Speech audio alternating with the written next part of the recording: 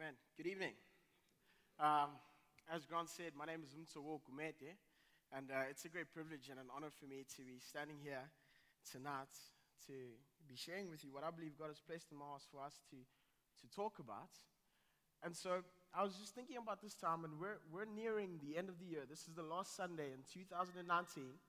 And so I was just thinking about coming towards the end and, and, and what that means and, and this is probably the time that most people reflect.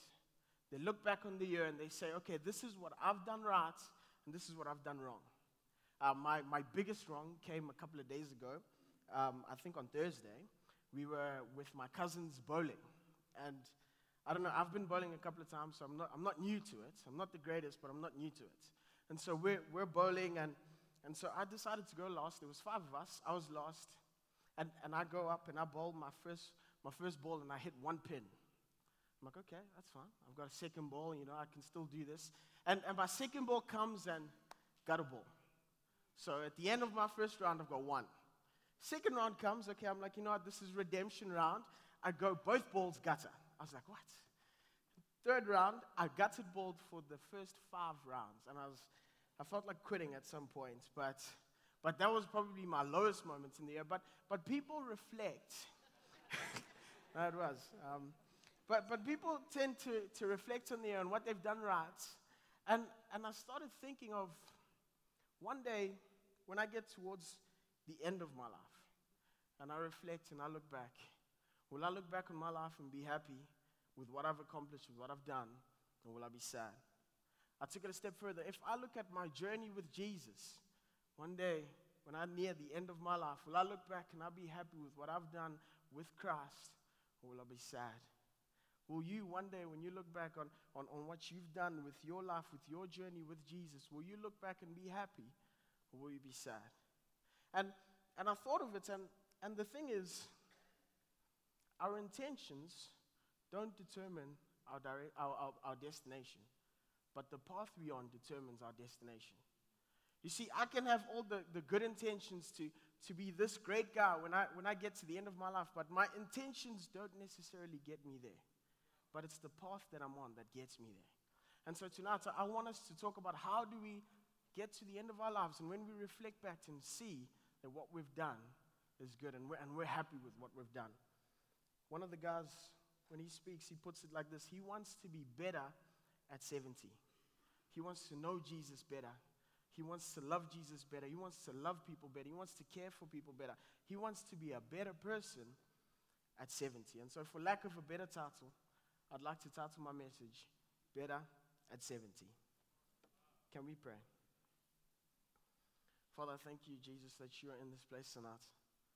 Father, I pray, won't you speak to me and to your children. Father, I pray, let me not speak a word of my own knowledge, but only of your heart. In Jesus' mighty name I pray. Amen. Amen. If you have a Bibles, why don't you turn with me to Matthew 25? Matthew 25, we'll read from verse 14. So, this is a very famous parable that Jesus taught, and, and it, read like, it reads like this For it will be like a man going on a journey who called his servants and entrusted them his property. To the one he gave five talents, to another he gave one ta- two talents, and to the other he gave one, according to his ability. He went away and he who had received five talents traded them, and he made five more. And the one who had made two ta- got two talents made five, two more. But the one who received one talent dug a hole and hid his master's money in the ground. Now, after a long time, the master of the servants comes back and comes to settle the accounts. And he who received five talents came forward, bringing the five more talents, saying, Master, you de- delivered to me five talents. Here I've made five more. The master said to him, Well done good and faithful servant. You have been faithful over the little, I will set over you much. Enjoy, enter in, into, your into your master's joy. And he who had gotten two talents came forward and he said, Master, you delivered to me two talents. Here I have made two more. And the master said, Well done, good and faithful servant. You have been faithful over the little. I will set over you much. Enter into your master's joy. And he who had received one talent came forward, saying, Master, I knew you to be a hard man reaping where you did not sow, and gathering where you did not scatter. So I was afraid, and I hid your talents in the ground. Here, what is yours?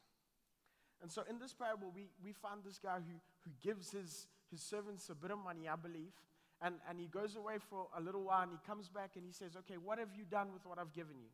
What have you done with what I've entrusted to you? And so the guy with the five got five more, the guy with the two got two more, but the guy with the one hid his talent. And so I'd like us to, to make a few observations from the story. And the first one is that in order for us to be better at 70, we need to know the giver. We need to know the giver. Verse 24 reads And he who had received one talent came forward, saying, Master, I knew you to be a hard man, reaping where you did not sow, gathering where you did not gather, where you did not scatter. Our view of God will determine how well our relationship with God will go. Our view of God will determine how well our relationship with God will go. You see, if, if I just know God at surface level, or if I just know God because of someone else's experiences, if I just know Jesus because of, of what I've heard, then I won't be able to be better at 70. If I just know Jesus because I, I've, I've seen my friend and he says, Oh, God is a provider, but I haven't seen God as a provider. If I just know God because my friend says God is faithful, but I haven't sought out to see God be faithful in my life, I will not be better at 70. The servant says, I knew you to be a hard man. And, and I believe some of us here, there are some, some places in our lives where, where we're saying, God, I know you to be dot, dot, dot. I know you to be distant. I know you to be far away from me. I know you to be hard. Or whatever it is be, but in our hearts we have our own, I know you to be God. I know you to be God.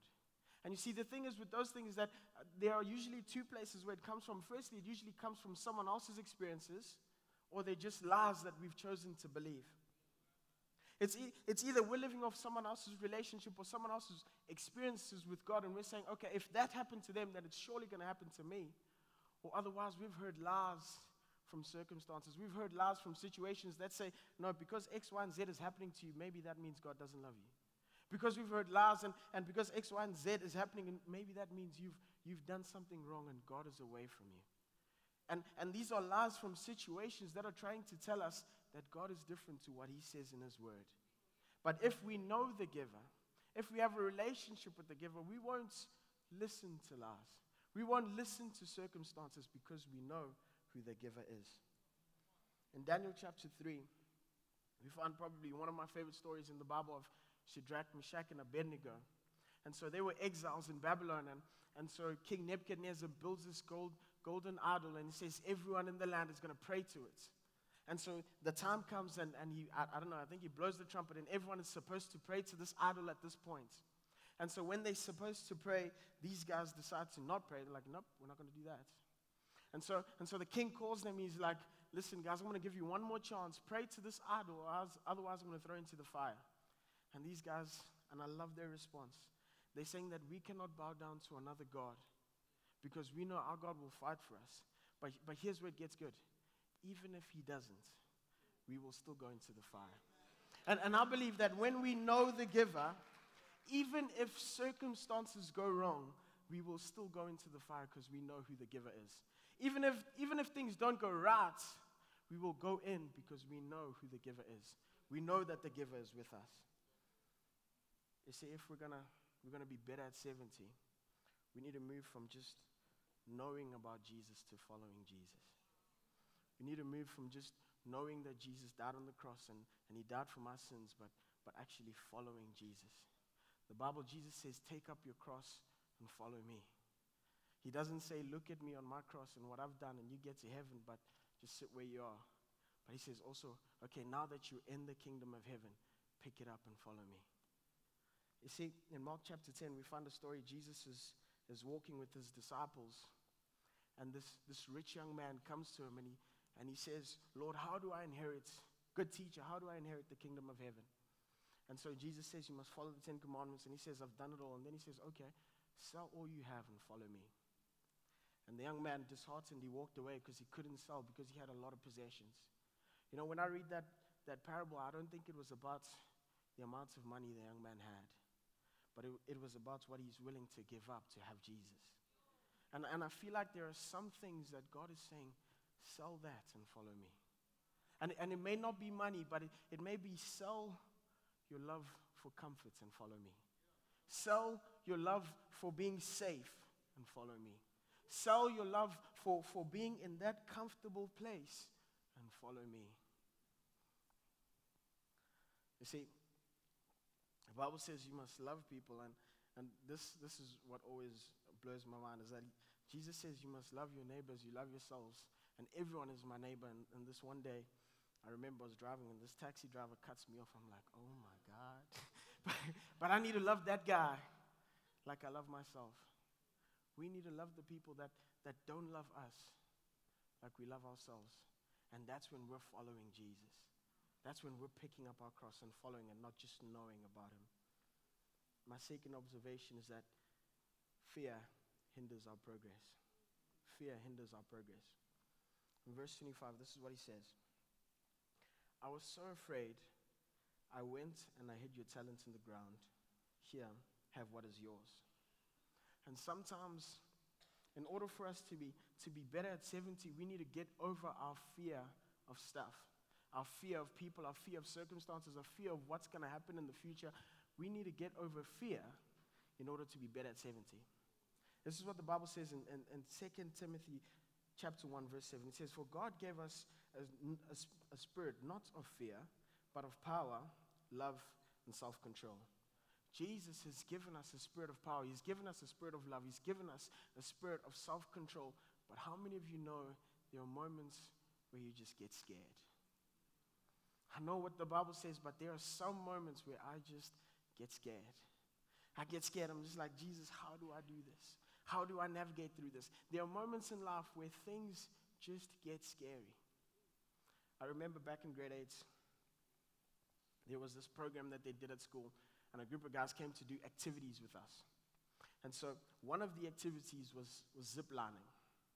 So I remember a couple of my friends went and uh, went ziplining, and, and I was at the bottom. I got my harness strapped in. I was like, you know, I'm ready to do this. I climbed up to the top. I think it was like 10, 15 meters high. And so all the way up, I'm like, okay, I'm, I'm good. I can do this. I'm ready. And as soon as I got to the top, I was strapped on. I was, I was supposed to jump. I was like, nope, I can't do this. And I think I stood there for like 15 minutes. I, did, I didn't go. People down there were he's shouting at me, like, go, or just climb down, you know, whatever. But I was, I was scared. Eventually, this guy, I don't know what he said, but he talked some sense into me, and I jumped. And it was probably the, my, one of my favorite things that I've ever done. You see, on the other side of fear, there's freedom. On the other side of fear, there is so much joy. And we need to be able to, to get up and get over that fear. We need to be able to, to say, look, this is the situation. But on the other side of this, there is Jesus. You see, one of my favorite stories in the Bible, I have a lot, by the way, but, but is, is the story of the Israelites when they get to the Jordan River. And so, as they get to the Jordan River, they, they're supposed to cross on the other side, but it was flood season, so the water was rushing hard. And so, and so this is what uh, Joshua says. He says that the, the Levites must carry the ark and go in front of the people, stand in the middle of the Jordan, and then the people will cross over to the other side. And so the Levites go in, water stops flowing two miles up, and then they walk over to the other side, and then they follow from the back. And, and what I love about that picture, because firstly, if you look at the ark, it's a picture of Jesus. Because it's got the Ten Commandments, it's got a staff, and it's got manna. It's a picture of who Jesus is. And, and this is what I love Jesus goes ahead of us, he stands in the middle in the storm, and he walks out on the, on, behind us on the other side.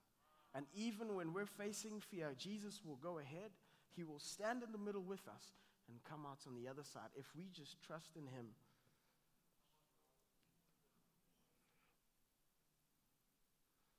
What is it that you're afraid of doing?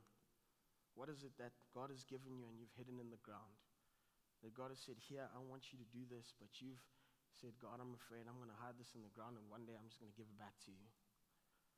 I believe God is calling us to take those things out of the ground and go forward and boldly with it because he is with us. Like Ezekiel spoke to the dry bones and told them to come alive, we get to tell these things to come alive in our lives.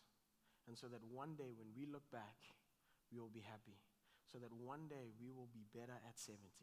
We will look back on our lives and say, We did it well. We were confident, we were brave, and we did it. We did not fear. We knew who the giver was, and we were not afraid. Can I pray? Holy Spirit, I, I thank you, Father, that you're in this place. I thank you, Jesus, that you're speaking into our hearts. And Father, I pray, I want you to help us know you more. Help us know you, the giver, more each and every single day. And Lord God, in, in those situations where fear has overcome us, Father, I pray for the freedom of Christ to come this, this very instant. I pray that Jesus may come and bring us freedom, may come and bring us joy, may come and bring us peace. You're good and you're God, and we bless your Holy Spirit. In Jesus' mighty name we pray. Amen.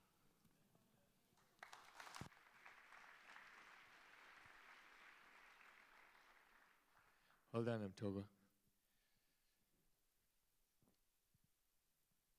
It's an amazing thing when God gets hold of a guy's life when he's really young, eh? And uh, you did really well there, buddy. Keegs, if you would come up, please. So this is uh, this is Keagan. This is what I would look like if I had hair. And uh, Keegs is uh, 17. He's at school still.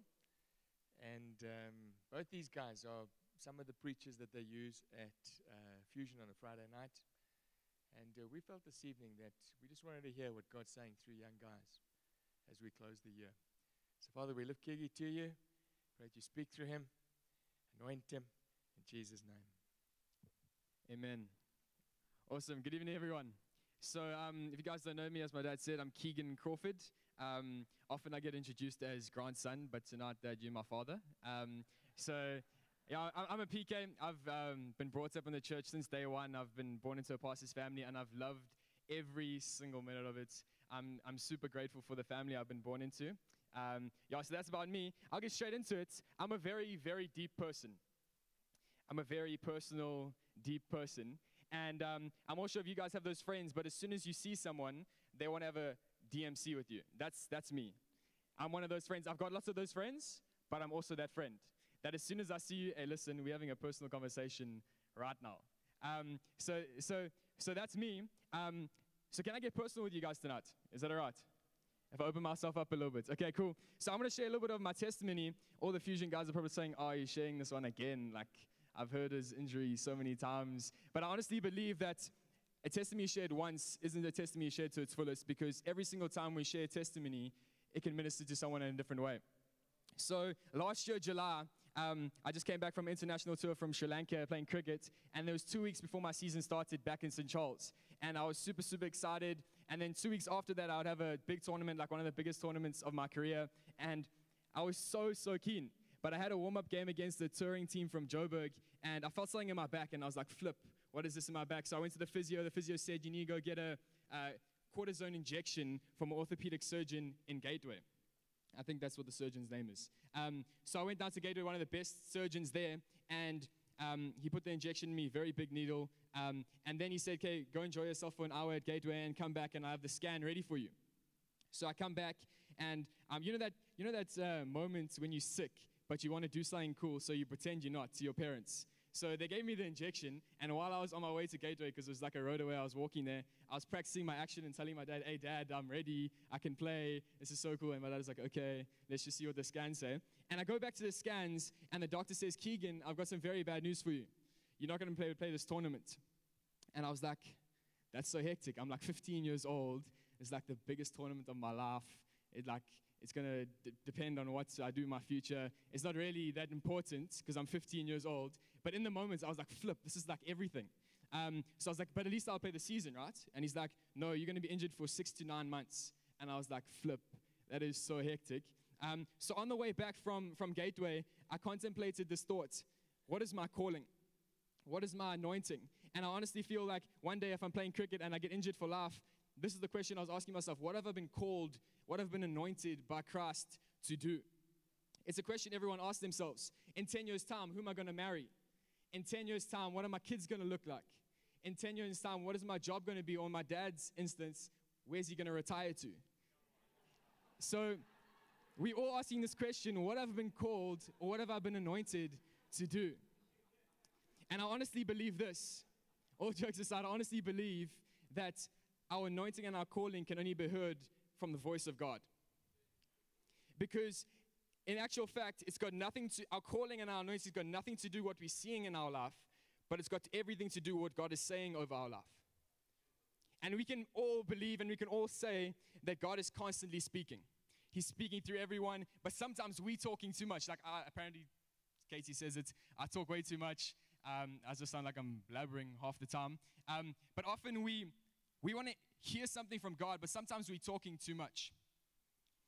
But we see in um, we see in Jeremiah when he was a teenager, he became a king.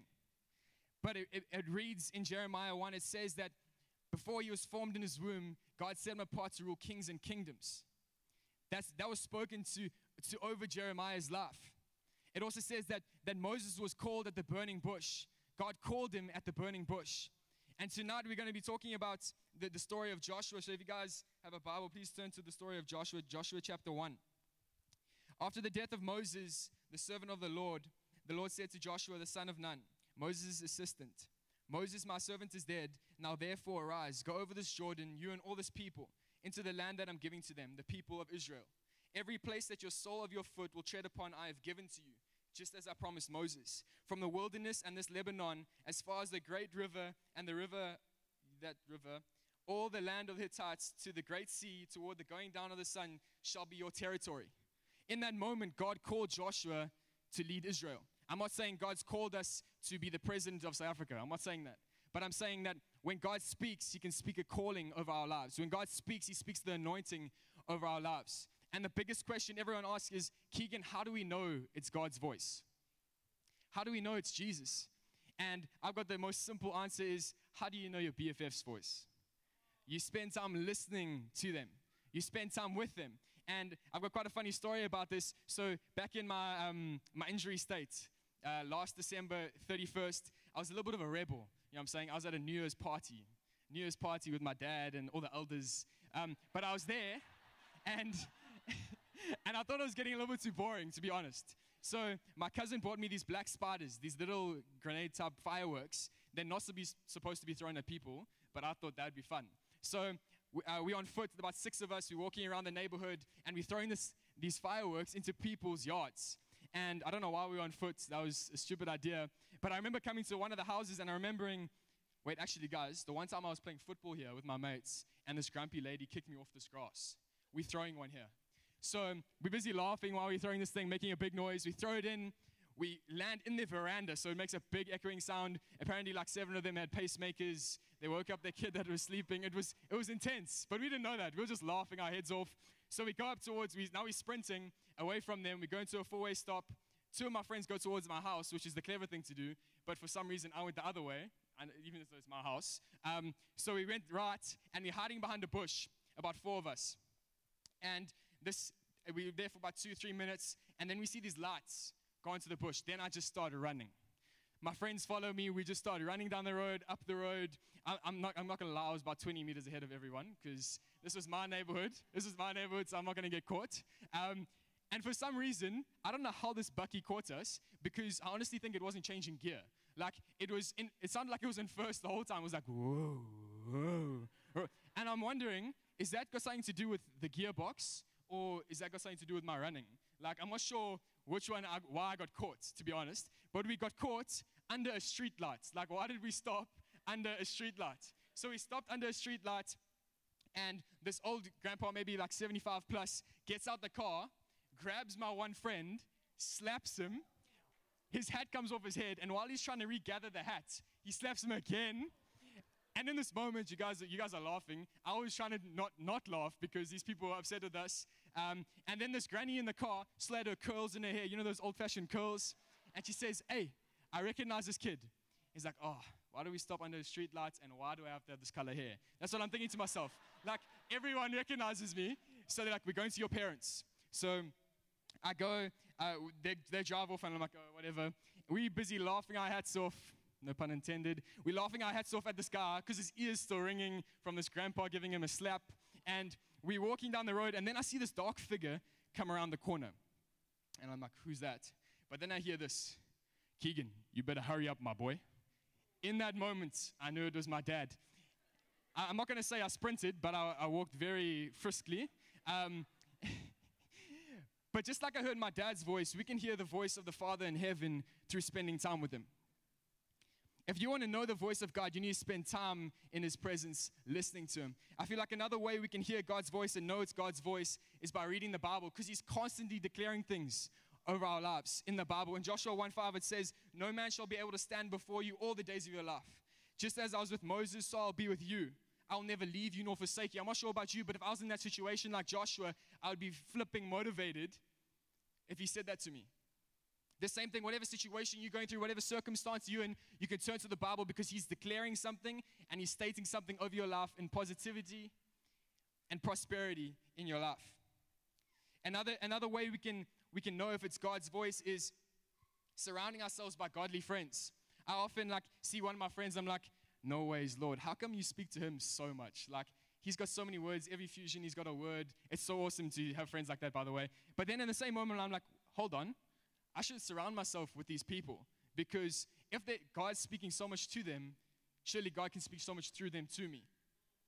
So I think the biggest things are spending time in His presence, reading the Bible, and being surrounded by godly friends. It's all I got to do with this tuning our ears to the frequency of heaven. And we can do that by those three ways. I really do believe God speaks to us about our calling. I really do believe God speaks to us about our anointing. But I also believe this that the moment we step out of our comfort zone into uncomfortability, we walk into our calling. The moment we step from our comfort zone, the moment we step out of it, we step into our calling zone. In Joshua, we go back to Joshua 1, it says, After the death of Moses, the servant of the Lord, the Lord said to, the Josh, to Joshua, the son of Nun, Moses' assistant, Moses, my servant, is dead. Now therefore arise, go over this Jordan and all this people. I'm not sure about you, but Joshua was on the sidelines his whole life, second in command there next to Moses. And one day Moses drops dead. Then he's in the firing line. Joshua must have been in such a place of unfamiliarity, unfamiliarity to move from sideline straight into the leading the battlefield, leading Israel. Because if you think about it, the only way Joshua stepped into his calling is stepping from the sideline and leading Israel.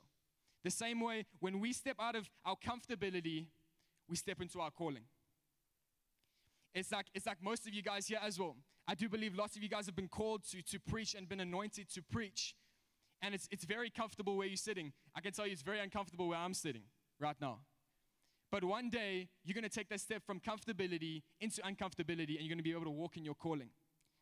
One day you're going to be on the stage preaching because you took that step into your calling. I believe I've been called to preach and I believe that I've been anointed to preach. And we better take that step from comfortability into uncomfortability to walk in our calling. It's like that thing of like a bird. If a bird wants to learn how to fly, it needs to leave the comfort of his mother's wings, right? If an eagle wants to learn how to soar through canyons and pick up fish with talons, what a poet.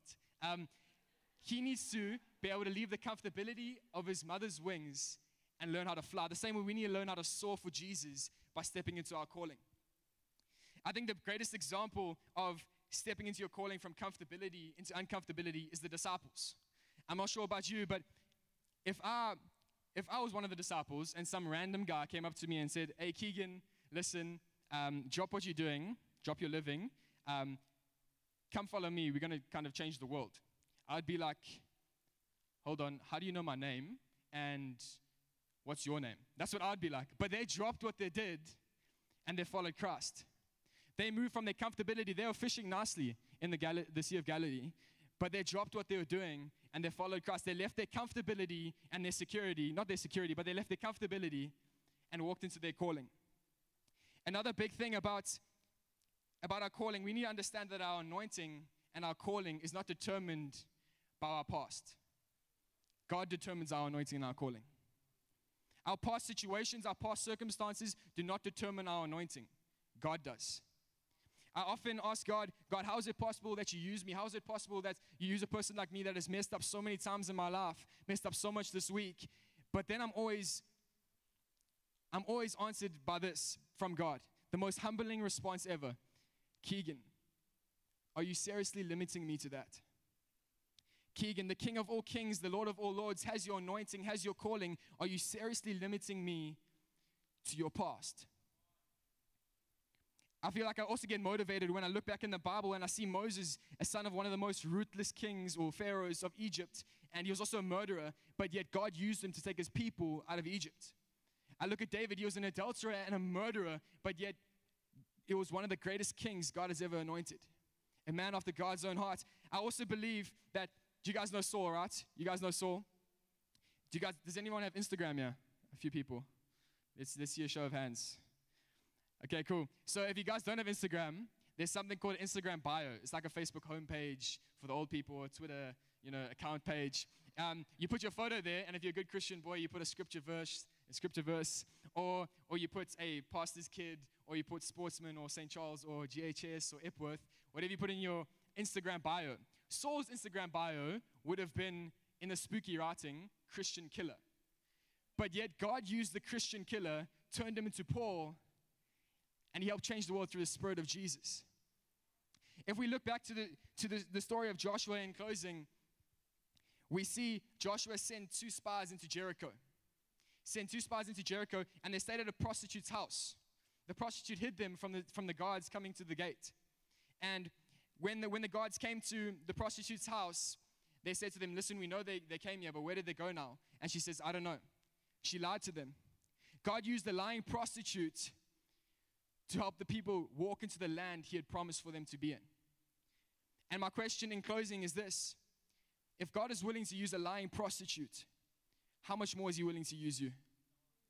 It's, got, it's all got to do with this thing I've once preached on it before. It's God uses crooked sticks to draw straight lines. No matter how crooked your past, no matter how crooked the ways were before, God is going to use that to draw a straight line into the calling and the promise He has for you. And we can be motivated and determined that the King of all kings is holding that anointing, holding that calling. If someone comes with this two cents, he's like, I don't care about that two cents. I don't care about their two cents because I'm holding your anointing and I'm holding your calling. Thank you.